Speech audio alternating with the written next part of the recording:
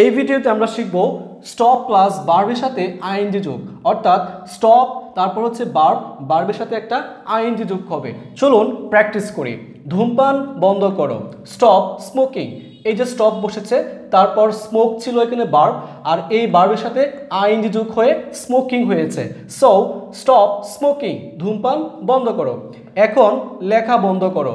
Stop writing নাও football খেলা বন্ধ করো।